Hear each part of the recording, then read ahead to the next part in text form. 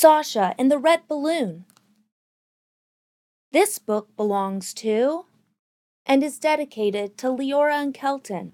Once upon a time, there was a dog named Sasha. While taking a walk, Sasha saw a big red balloon. Maybe I can catch it. So Sasha ran after the balloon, but the wind just blew it higher. The moon was coming up and the sun was going down. Now the red balloon was gone. Sasha got hungry and missing her mommy, so Sasha went home. Yay! Happy birthday, Sasha! The End by Heather Duffy.